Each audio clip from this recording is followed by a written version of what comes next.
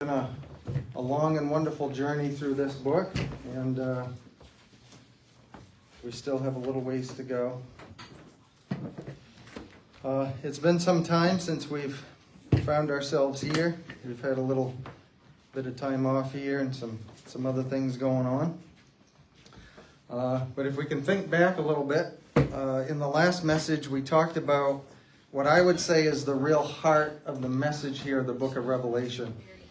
Uh, of course, the grand subject of the book of Revelation is the Lord Jesus Christ. He is the grand subject of all of Scripture. But I think if we had to narrow this down to a real central message, the message here in the book of Revelation is as Christians, we must live in the light of the return of the Lord Jesus Christ. And live life looking forward to all of the things that that entails into our inheritance and all of the blessings that we will someday receive through our faith in Christ. And that is what it's all about.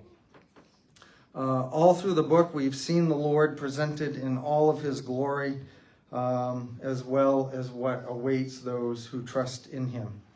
Uh, we've also seen very graphically presented what awaits those who refuse to believe um, and uh, refuse to repent and trust in Christ. Uh, the final resting place for those people, of course, being the lake of fire. Uh, in the last message, we had it very eloquently presented that each and every one of us must make a choice.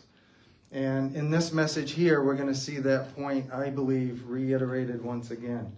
Uh, because ultimately, that's exactly what it is. It's an action of the will where we bring ourselves uh, by the power of the Holy Spirit to the point where we recognize our need and finally put our trust in the Lord Jesus Christ for our salvation. So, with that, particularly since it's been a little while since we've been here, I'm going to go back and read uh, a large portion here of chapter 22.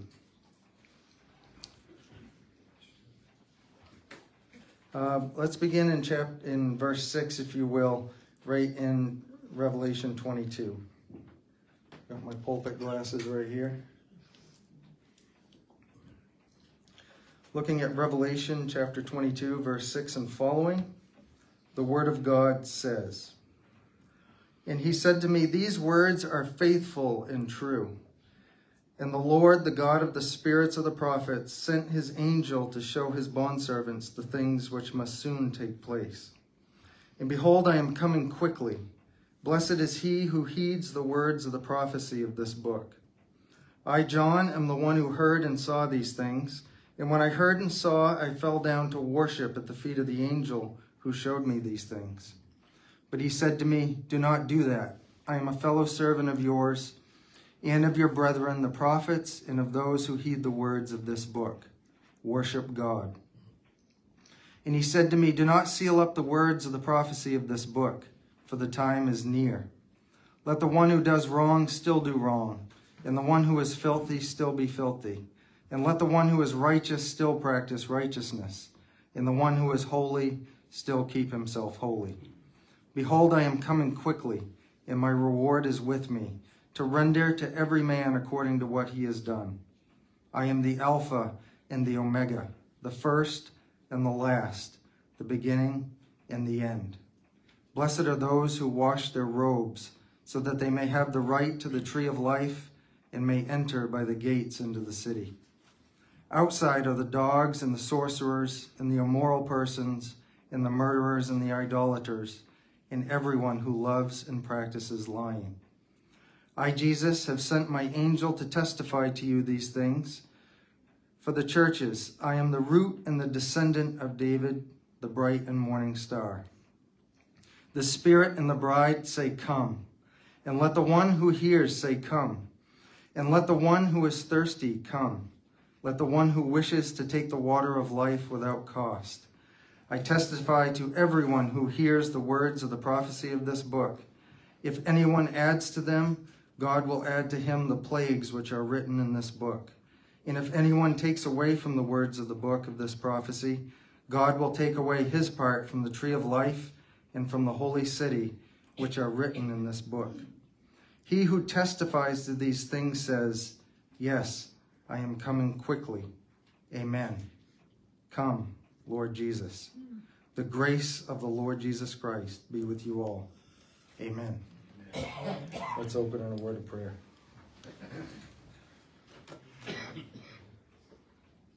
Father, we thank you for these words. We thank you for this book, the revelation of Jesus Christ. Father, I ask that your spirit, the same spirit that inspired the writing of these words, that your spirit will be with us today, that you will open and prepare every heart that hears these words, and that you will have your way in each and every one of us. Uh, Father, uh, I just hold everyone listening up to you today. I ask you to remove uh, every inhibition that there is to the hearing of these words. And those with ears to hear, Father, I ask that you would open those ears and that people will hear the seriousness of these words that we have before us today.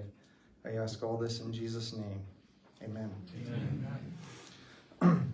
So we're going to pick right up where we left off in the last message, and we're going to begin in verse 16.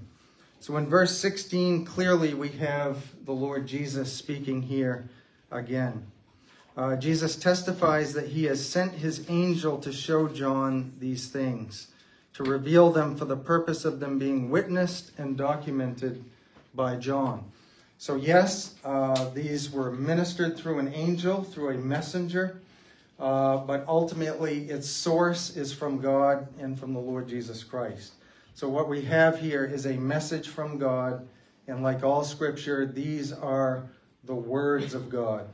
Um, you may have noticed that in, it is my practice every time that I read from Scripture in front of you to remind you and me that what we have before us are the words of God. Um, and that's how we need to treat them. We need to treat them with the very same reverence that we have for God Himself, which is going to be a primary focus of the message today. Uh, but Jesus is ultimately the source and the subject, for that matter, of the words that we have here before us today. Furthermore, Jesus makes another point regarding who he is. Uh, he states, I am the root of David and the offspring of David.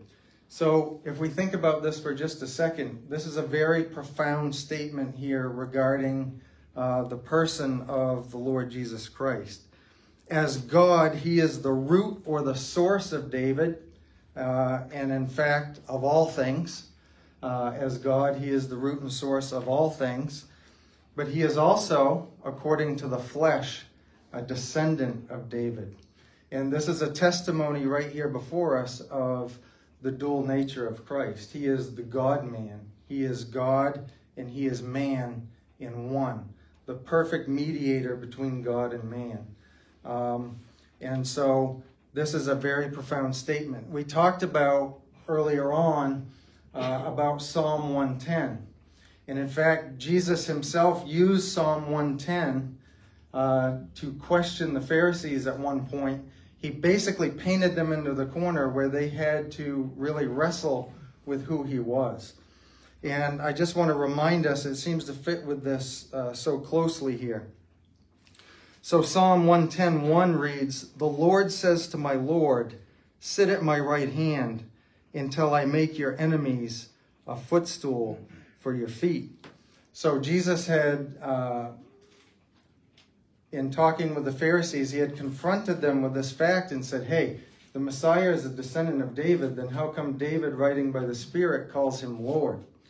And of course, they can't really answer his question without really getting in at the crux of the matter. And the text tells us that they just didn't didn't dare to ask him any more questions.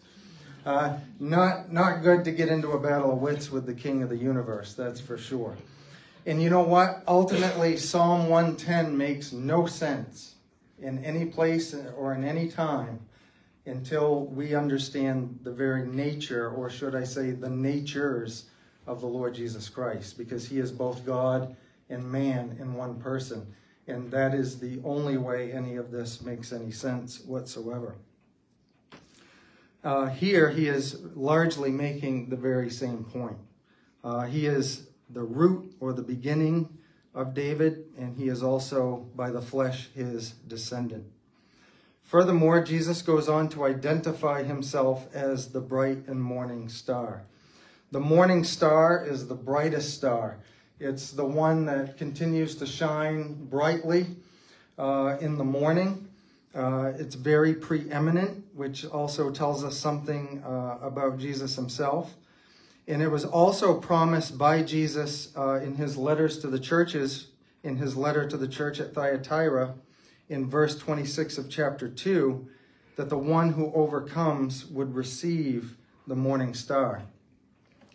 Reading verses 26 and following uh, from chapter 2 in Revelation The one who overcomes and the one who keeps my deeds until the end, I will give him authority over the nations, and he shall rule them with a rod of iron, as the vessels of the potter are shattered. As I also have received authority from my Father, and I will give him the morning star. The one who has an ear, let him hear what the Spirit says to the churches. And so, as we have seen so many times, we have a reference back to what is promised to those who ultimately overcome. And those who overcome, as we have said many, many times, are those who are believing and trusting in the Lord Jesus Christ. All those who put their faith in Christ will overcome uh, and will receive an inheritance. Looking at verse 17, I'm just going to read this aloud once again just to refresh it in our minds. The Spirit and the bride say, Come. And let the one who hears say, Come. And let the one who is thirsty come.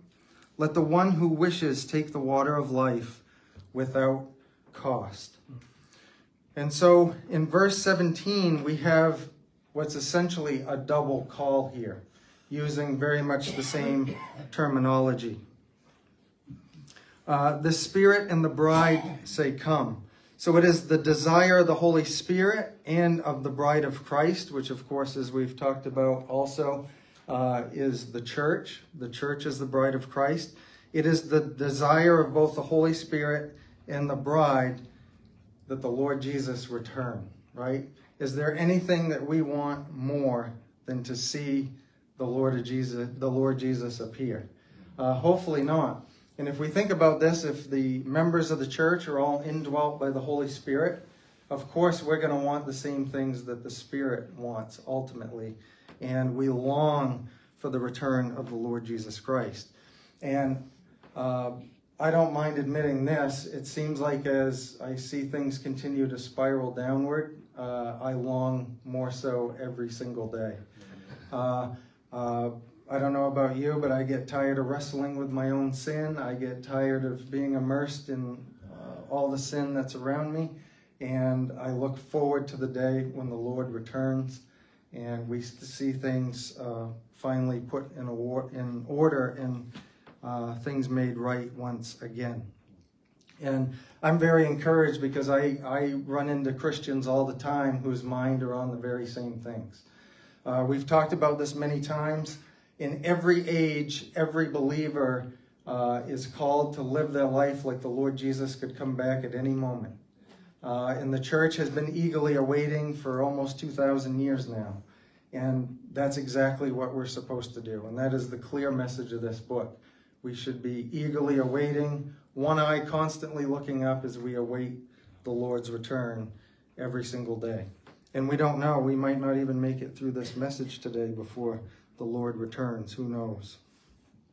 But we should live our life and we should use that as the motivation behind everything that we do. Because ultimately, uh, we have the book right here. We know how everything ends and we know that Jesus is going to win. Um, so we should be looking forward to that. The other invitation here, the other bid to come, is to the unbeliever having seen in a sense here the glory of the Lord Jesus Christ in this book put on display, having read about all of his glory in the glory that awaits us that he is going to share with his church, with his bride, and all of the inheritance, the wonderful inheritance that we have laid up for us in heaven. Uh, I think about the heavenly Jerusalem, how the holy city has been described and how wonderful and glorious that's going to be. We can't we have no idea. We can't even imagine how awesome that's going to be. So in light of all this, we are being called to come and wrestle to a decision. On top of that, we've been shown the wrath of God and of the Lamb. We have read about all of the plagues that are going to be rained down upon those who refuse to repent and believe. And ultimately, we have seen their, their final resting place, which is a horrible place called the lake of fire. And so, collectively, having journeyed through the entire book of Revelation, this is that moment where the call is placed. And every person is called to come, to finally come to the Lord Jesus Christ and to put their trust in Him and to be saved. So I just want to break this down just a little bit and digest this here very slowly, this invitation. So, this invitation is for whom? This invitation is for the one who hears and who desires. Um, that's ultimately what's being put before us here. It's the one who ultimately desires for this decision uh, that is going to put their trust in the Lord Jesus Christ. They have to want to do it. Uh, as I said earlier, it's, it's an act of volition, an act of the will to decide to put your trust in the Lord Jesus Christ. Uh, that's the only criteria that is given, is wanting to. That's it. One simply has to see their need and to believe in the Lord Jesus Christ. And there is no greater need that any human being will ever have than their need for salvation. We've talked about it many, many times. Um, but we can never hear the gospel too many times. Every human being is born a sinner, and as a sinner, we commit sin. And because of that, we fall short of God's perfectly righteous standard. And because of that, uh, when we arrive at the day of judgment, no matter how good we've managed to live by human standards, uh, we are not going to be judged by human standards. We are going to be judged by God's holy, perfect standard. And no exceptions will be made, trust me. Uh, his standard is perfection, and it is going to be perfection that is going to be required.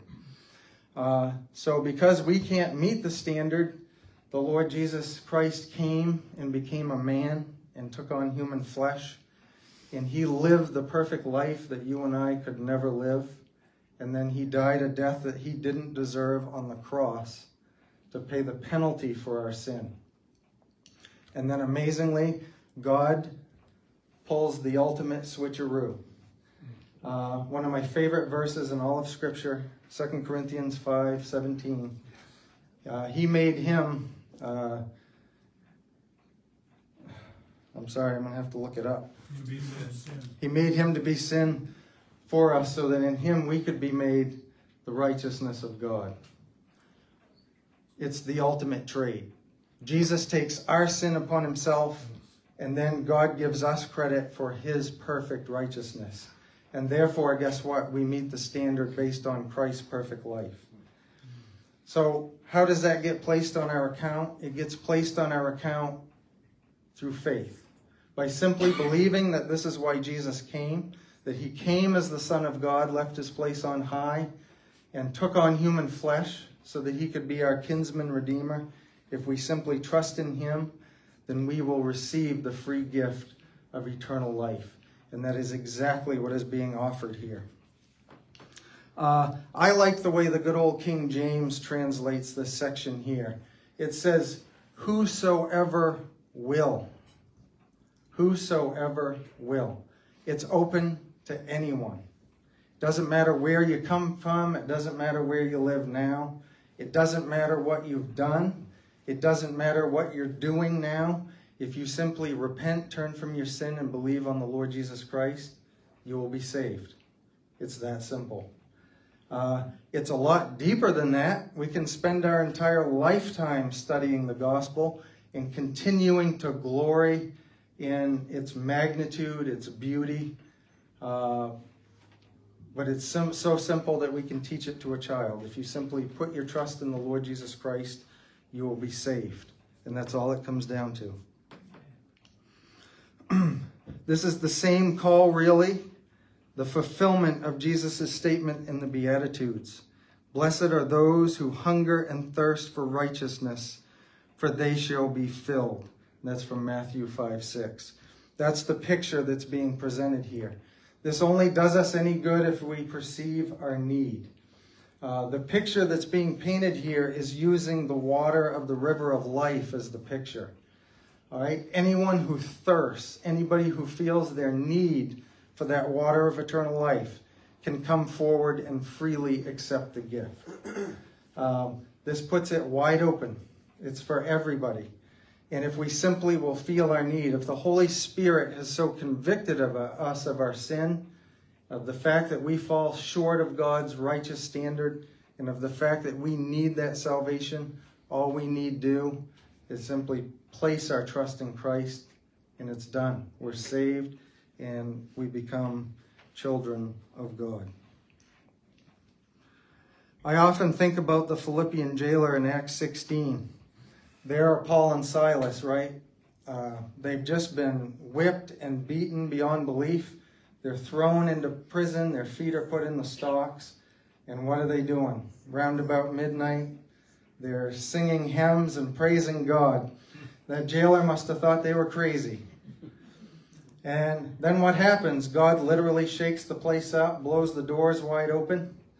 And the jailer has finally seen enough. And he runs over and he says, what must I do to be saved? And what do they tell him? Do they give him a long theological treatise? No. They said, believe on the Lord Jesus Christ and you will be saved. And it's literally that simple. That's from Acts 16:31, by the way, if you're interested. If you have already come to Christ, then you can join me in pondering the wonder of your salvation once again, all over again. But if there are any out there who have not yet put their trust in the Lord Jesus Christ, if you're still hanging on to the hope that you can somehow make it on your own, despair of that, follow the leading of the Holy Spirit, and put your trust in Jesus Christ mm-hmm. today while it is still called today. Looking at verse 18. I testify to everyone who hears the words of the prophecy of this book if anyone adds to them, God will add to him the plagues that are written in this book. And if anyone takes away from the words of the book of this prophecy, God will take away his part from the tree of life and from the holy city, which are written in this book. So these are some pretty uh, heavy and sobering words here. And I can tell you this there have been very, very few times that I have uh, preached any sermon and certainly any sermon from the book of Revelation where these words have not run through my head more than once. Uh, these are very, very sobering words, and we need to take them uh, very, very seriously. These are among the words that should give every teacher pause, and in fact, anyone who handles the Word of God at all, uh, a moment of pause. Uh, and it should fill every believer with a certain amount of reverential fear uh, because we need to be very, very careful what we do with the Word of God. The immediate warning here, contextually, of course, uh, specifically refers to anyone who would intentionally add or subtract from the book of Revelation. And in his, in his purpose of writing here, we have to understand that Revelation was written very closely to the end of the first century. The apostles were being martyred, and their time on earth was drawing to a close. Uh, the New Testament was uh, in the process of being written, including the book of Revelation.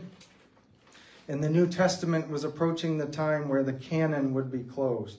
And when I use the word canon, of course, I mean the books that would ultimately be included in the Bible and included in Scripture, the inspired writings that were given by God. So at the end of that time, that canon was coming to a close and things needed to be finally and firmly cemented. And so this warning here is to anyone who would add or subtract from this book. And in the years that would follow, particularly in the second and third centuries, we would see all of these false writings start to pop up, all of these false gospels and different things. And uh, the book of Revelation uh, includes in it the idea that, you know, you don't tamper with Scripture.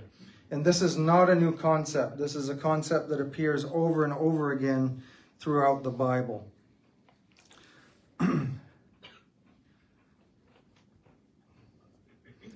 Uh, I also wanted to mention here that if we look at the penalties that are described here, they're all the same penalties that await an unbeliever in the book of Revelation. Uh, there's two ways that we can take this, and I'm going to be perfectly honest with you. I'm not really sure what the best way to take them is. I'm, I'm inclined to have the idea that anybody that would go to the lengths of trying to add or subtract intentionally from the book of Revelation uh, probably ranks among the class of unbeliever, and therefore all of these things would have been true of them anyway. Uh, there's also the view that anybody that does that, uh, truly, as the text says, their name would be removed from the book of life and that they would be condemned. Uh, and if we look at, as I said, the punishments here, these are exactly the same things that await an unbeliever. As I said, though, I personally uh, slightly prefer the view of the former, um, but I don't think we can be 100% sure about that. By principle and extension, this extends to all of sacred scripture. It is all the Word of God. It is all as binding and as authoritative as God speaking directly to us. Uh, he is speaking through people, as we've talked about many times, uh, though human beings moved the pen. It was the Spirit of God that was superintending every single word that is written, so that what we have in Scripture is the perfect and pure Word of God that is free of error and it is absolutely binding on every person. uh, we need to treat God's Word, as I said earlier, with the same reverence that we would have for God Himself.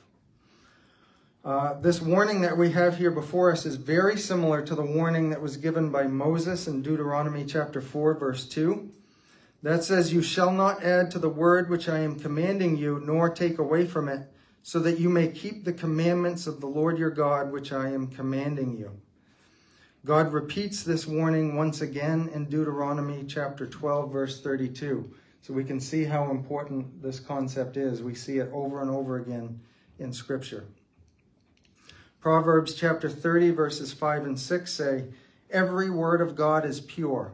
He is a shield to those who take refuge in him. Do not add to his words, or he will rebuke you, and you will be proved a liar. Okay? And so this ultimately was the test of every prophet. Um, if people claim to be speaking from God, the test is, does what they say ultimately come to pass?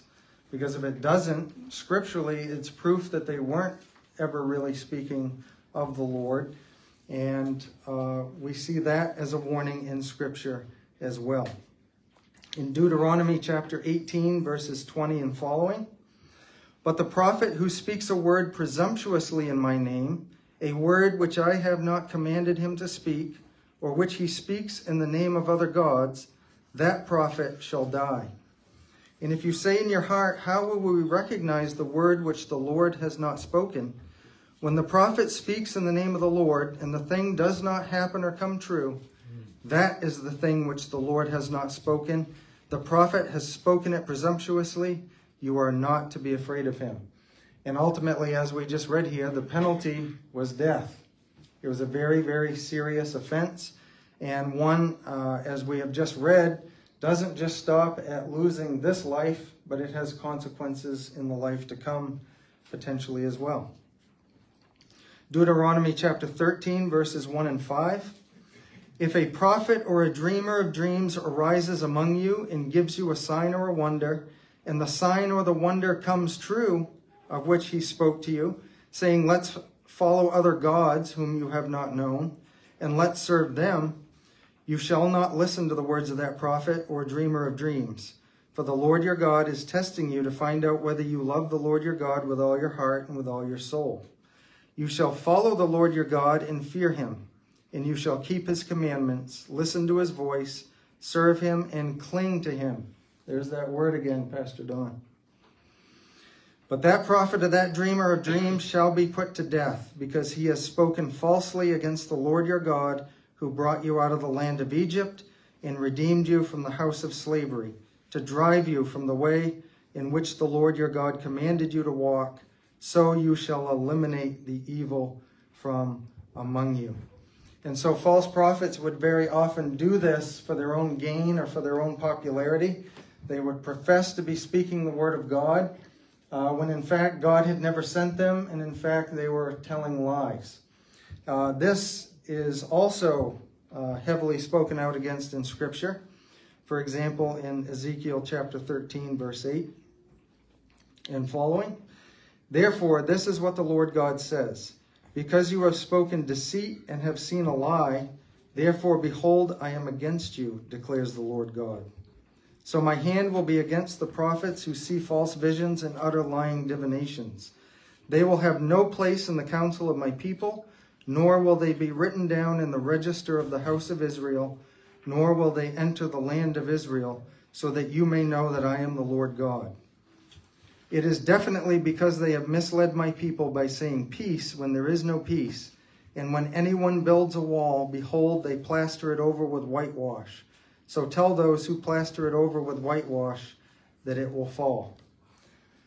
And so ultimately, it's a lot easier to tell people what they want to hear, right? It's a lot easier for people to hear things that are nice to hear and things that they want to hear. And throughout the history of Israel, there was a problem with people constantly coming forward and saying, hey, everything's going to be great. There's nothing to worry about. And the picture that is drawn for us here is that of a wall. So we have a wall that's so dilapidated here that it's about to fall over. And yet these false prophets the picture is they would come along and whitewash it and make it look great, when in reality it's about to tip over and collapse. And so they are condemned for the fact that instead of leading the people into righteousness, trying to give the bad news to people so they'll repent and get back on the right track, instead they're just telling people what they want to hear and, you know, then the people are not repenting and they're just going about their business. Well, I can tell you in today's world, there is no shortage of those false prophets. And there's plenty of false gospels out there to be heard, and you don't have to look very hard to find them. Uh, otherwise, this also uh, applies to any person that would step forth and claim to be speaking from God. We have to be very, very careful about this. I see people on the internet all the time. They come forward and they say, Hey, God told me to tell you. And I'll be honest with you, I kind of hold my breath a little bit uh, because I truly hope that they've actually heard a message from God. Because the second you come forward and you claim to be speaking for God, you better know what you're talking about. Uh, some of them, I never see them again, and I wonder if that's coincidental or it's just because I haven't come across them yet again. Um, but this is deathly serious, uh, this concept of uh, being very, very careful of speaking for God and of speaking uh, from God.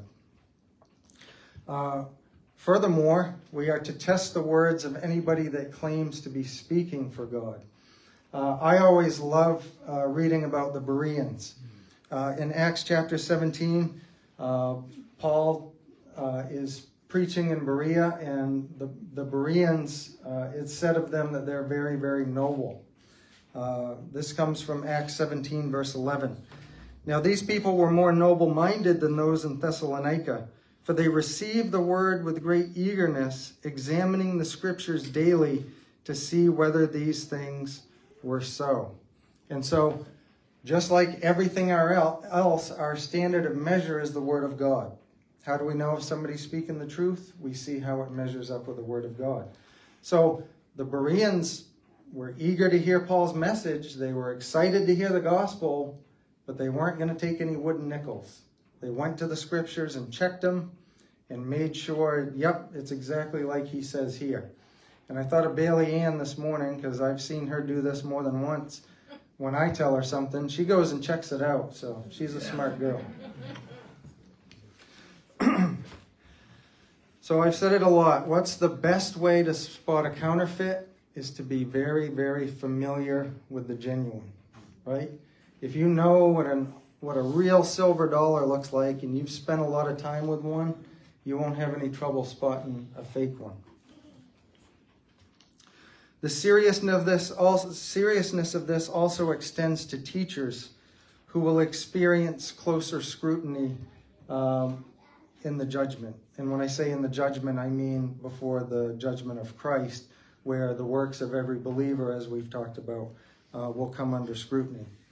James 3:1 says, "Do not become teachers in large numbers, my brothers, since you know that we who are teachers will incur a stricter judgment." And anybody who teaches in any capacity needs to remember these words. Uh, as I said again, we need to have a great reverence for handling the Word of God.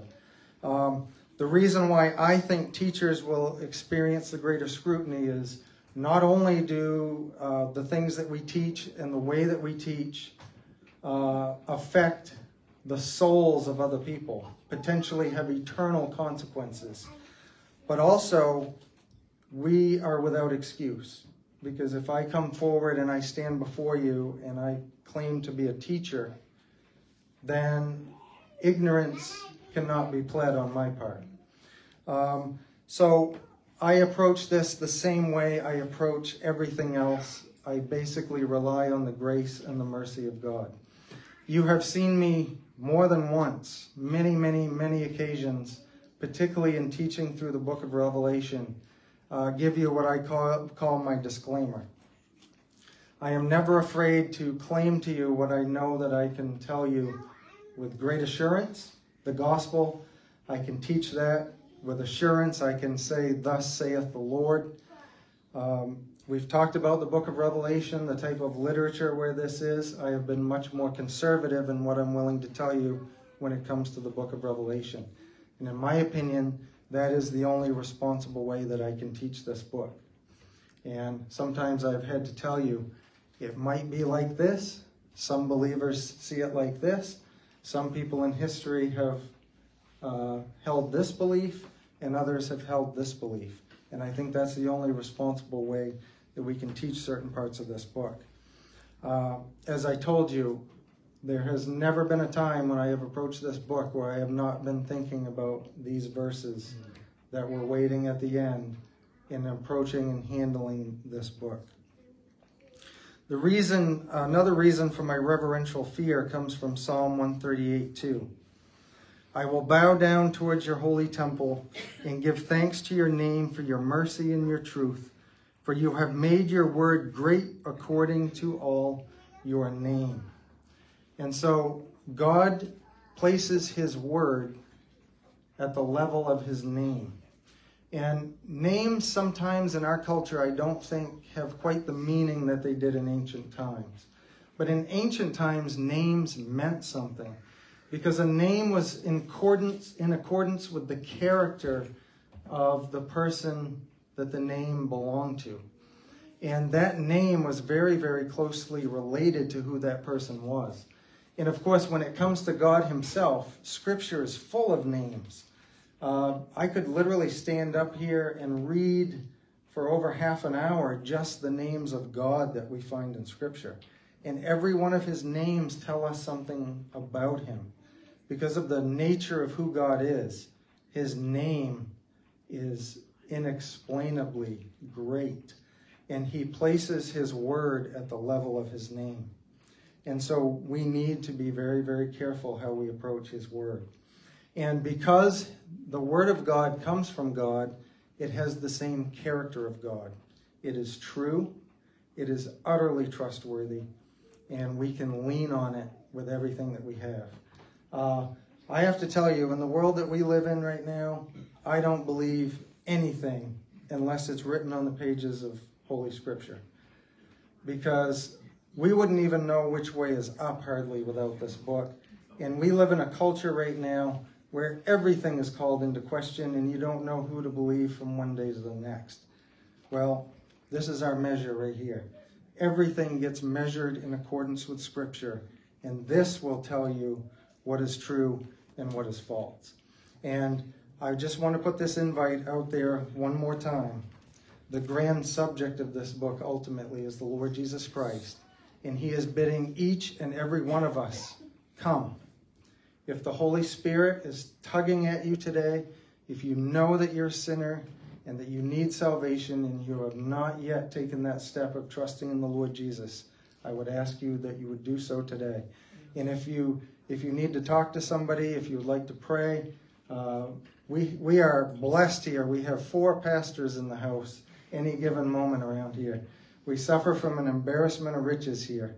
It's a it's a great situation to have. So come find one of us that you feel comfortable with and have that conversation with us, if you will. And with that, let's close in a word of prayer. In a word of prayer. Father, I thank you for these words. Uh, I just pray, Father, that you've put it on every heart here, the heaviness and the seriousness of these words, uh, the importance of trusting in your word, of handling it uh, reverently, and of taking it seriously. And Lord, your word makes it very, very clear. On our own, we're in big trouble. We need your son worse than we need anything in this life. And Father, I just I just pray that you will call those in need of repentance, that they would just simply turn from their sin and place their trust in you today. We ask all this in Jesus' name to your glory. Amen. Amen. Thank you, and I hope you all have a very blessed Sunday.